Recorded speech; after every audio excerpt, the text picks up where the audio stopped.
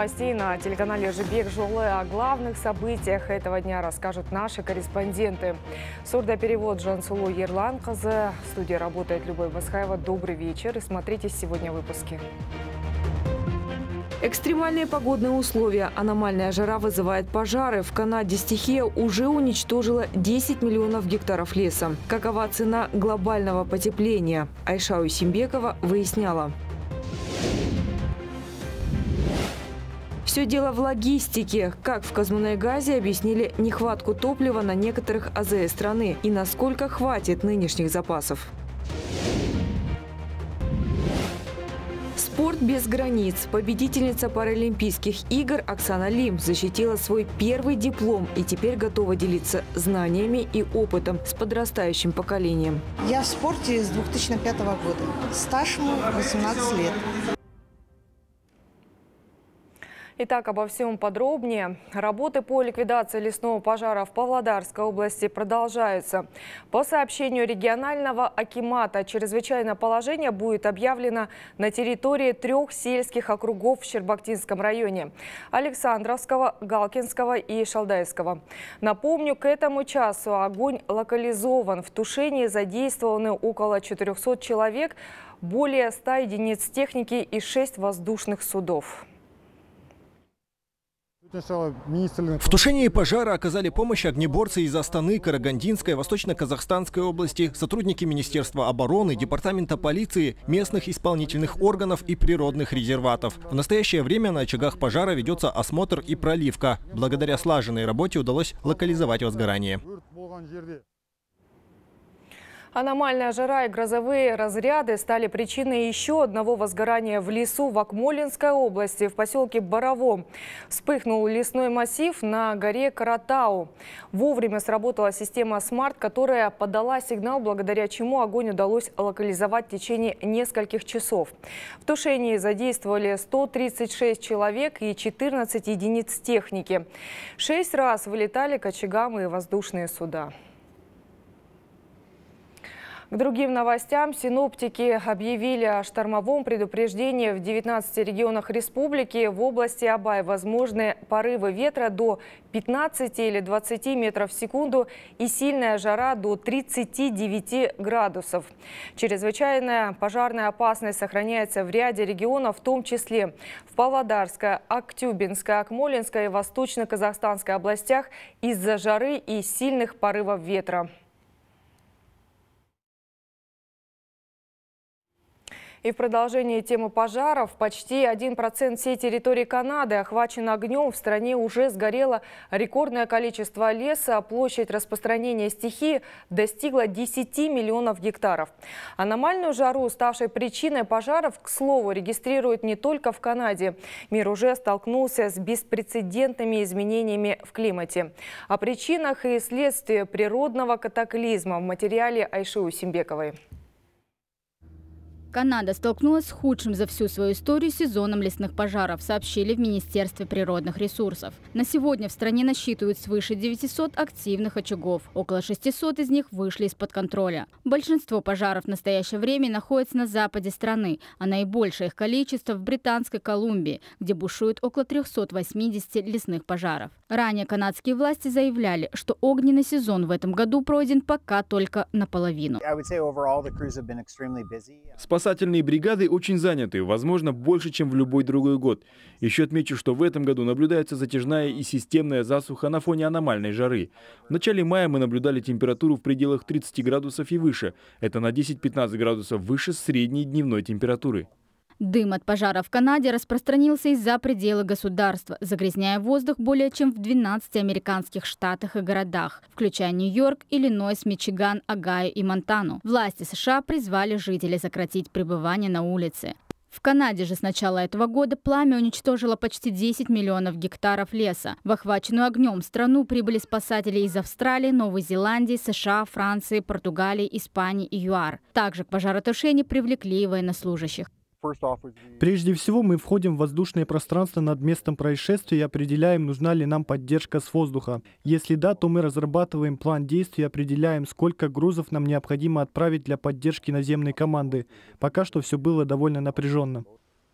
Аномальную жару фиксируют в разных точках мира. Именно природная аномалия чаще всего становится причиной лесных пожаров. Синоптики неутешительны. Жара не будет спадать в ближайшие дни. Планета уже перегрелась на фоне рекордных показателей температуры воздуха. На итальянских островах Сицилия, Сардиния столбики термометров поднялись до 48 градусов. В штате Калифорния и вовсе до 52. В Японии власти предупреждают граждан об опасности получения солнечного удара и не рекомендуют долго пребывать на улице. Жара, по словам экспертов, вызвана глобальными климатическими сдвигами, а также природным явлением под названием Эль-Ниньо. Айша Усимбекова, Жебек Жола. Работники природоохранных служб Казахстана начнут получать стопроцентную надбавку к должностному окладу.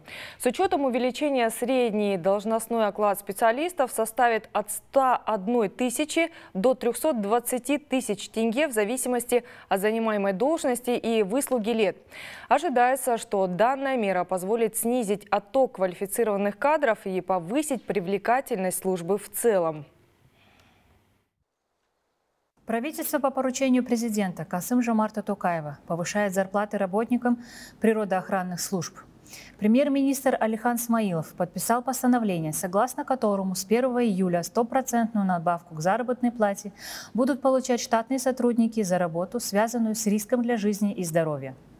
К числу структур с особыми условиями труда отнесены организации по охране животного мира, защите и воспроизводству лесов и другие.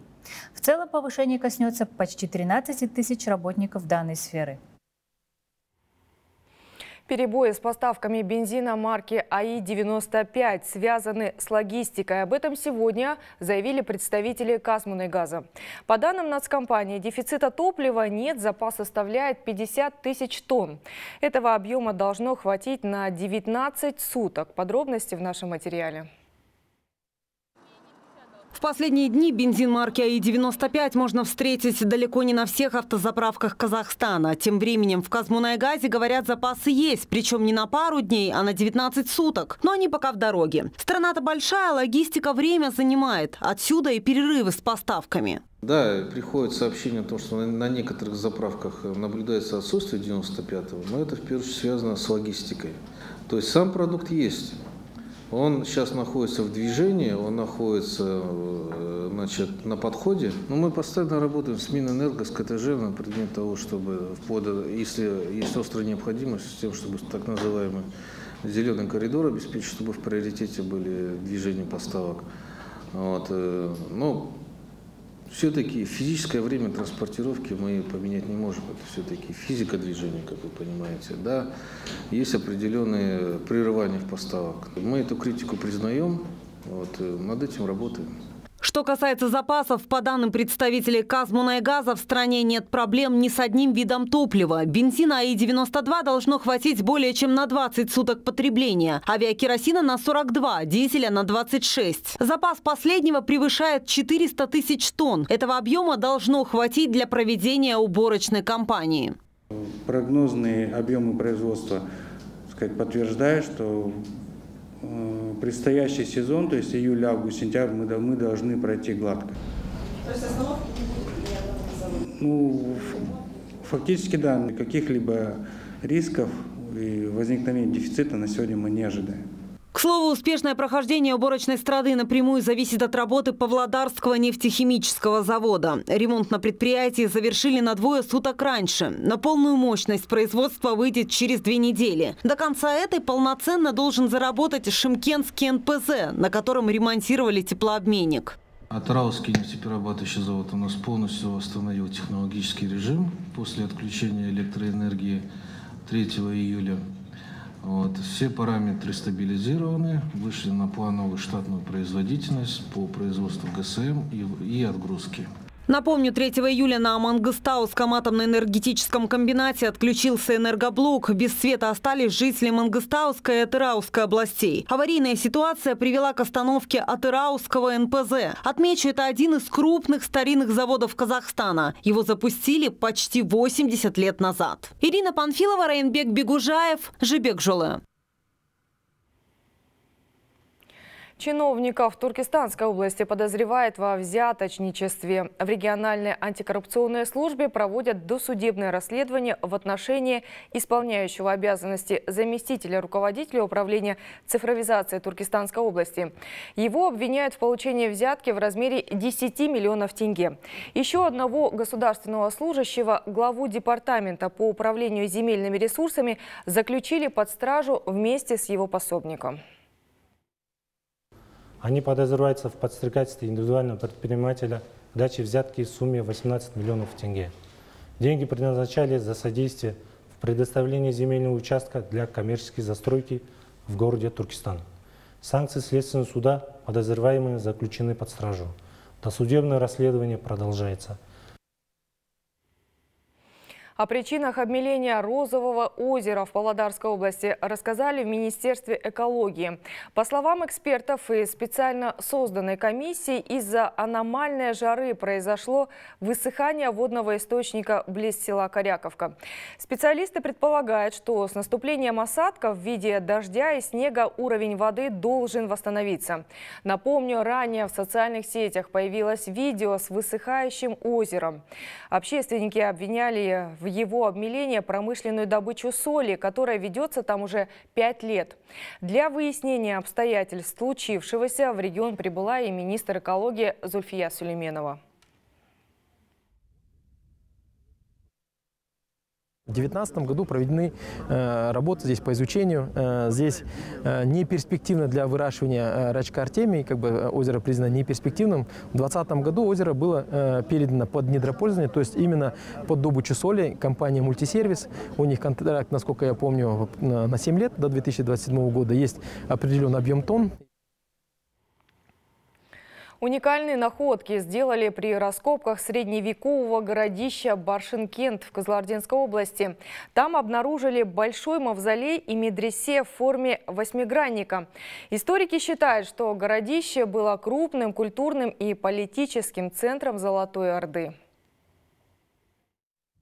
Средневековое городище расположено в Сардаринском районе. На площади в 50 гектаров археологи обнаружили восьмигранное медресе, керамические печи и десятки уникальных экспонатов. Эти находки, по словам исследователей, свидетельствуют о том, что Кашкала был одним из огромных торговых и культурно-политических центров на Великом Шелковом пути. Через Ургенеш и Центральный Казахстан пролегал путь до нынешней Астаны. Одна из дорог проходила вдоль реки Сырдарьи, другая вела до Самарканда и Бухары. Эту версию подтверждают ценные артефакты, найденные при раскопках. Китайская монета, насекомые, обитающие на берегу Индийского океана, рисунки слонов, редких рыб и китов. Мавзолей длиной 28 и шириной 20 метров. Узоры на его стенах ручной работы. Центральная часть сооружения была местом паломничества и поклонения, как в мечети Ахмета Ясауи, а напротив нее расположена усыпальница. По словам историков, чтобы завоевать городище, Джучи, сыну Чингисхана, пришлось его сначала затопить. Несмотря на это, строения сохранились до наших дней. Другого такого городища в Казахстане нет, поэтому мы обязаны сохранить этот памятник истории для будущих поколений. Необходимо его оградить и продолжить здесь исследовательскую работу. Если отреставрировать найденные объекты, то можно продлить им жизнь еще на 200-300 лет. Другое название Кашкала – Баршинкент, город, в котором, по легенде, Алпамыс Батыр оставил свою супругу Гульбаршин. В середине прошлого столетия часть древнего городища была разрушена. Сейчас ученые пытаются сохранить уникальное наследие оставшиеся от предков. В целях развития внутреннего туризма мы хотим показать эти места прежде всего местным школьникам. Планируем организовать поездки в древние городища, повысить интерес детей к истории края. Археологические раскопки продолжаются не только в Баршинкенте, но и в городищах Саганах и Жанкент. Лейла Уисова, Ельжас Абдильда, Жаслан Бахтбек, Жибек Жолы, Казалардинская область. Еще одной заветной цели достигла чемпионка Паралимпийских игр из Павлодара Оксана Лим. 50 лет она впервые получила диплом о высшем образовании. Мастер спорта международного класса полна энтузиазма. По своей индивидуальной методике она намерена обучать взрослых и детей с особыми потребностями. Оксана Лим в 30 лет получила производственную травму, приковавшую ее к инвалидной коляске. Но это не сломило будущую чемпионку. Свои ежедневные тренировки она довела до совершенства. Стала мастером сразу в нескольких видах спорта. Это легкая атлетика, гонки на колясках, троеборье. В коллекции десятки золотых и серебряных медалей, завоеванных на республиканских и международных соревнованиях. Теперь все успехи подкреплены научными знаниями. Пошла я на этот шаг э, для того, чтобы обучать таких же, как и я, а, и детей, и взрослых, э, паралимпийцев, не паралимпийцев. А так как у нас э, в городе Кибастуза нету специалиста а, по легкой атлетике, Полученный диплом по специальности физическая культура и спорт не предел. Оксана мечтает и о степени бакалавра по психологии, для того, чтобы уже профессионально поддерживать своих учеников. Ведь победа на соревнованиях – это прежде всего победа над собой и своими страхами, говорит спортсменка. Я в спорте с 2005 года. Стаж мой 18 лет. А, первые 12 лет у меня гонки на колясках на инвалидные спортивные. А с 18 года у меня я ушла в троеборье, дископью ядро и мастер спорта международного класса. Также продолжаю. Спорт – вещь очень такая мотивирующая, и потом, помимо того, что ты находишься в социуме, ты, ты получаешь возможность приобретать новых друзей, путешествовать, в конце концов. И она такая, знаете, человек э, позитив э, ко всему и всегда. У Оксаны амбициозные планы на будущее, причем не только свои личные. У нее немало учеников с высоким потенциалом. При желании и упорстве можно многого достичь, уверена паралимпийская чемпионка. Азамат Айтхалин, Алексей Мельницкий, Жибек Жулы, Павлодар. Это все новости к этому часу. Эфир продолжит информационно-аналитическая программа «Жана Уакыт». Ануар Кеш Жарык Сөз Үзінде.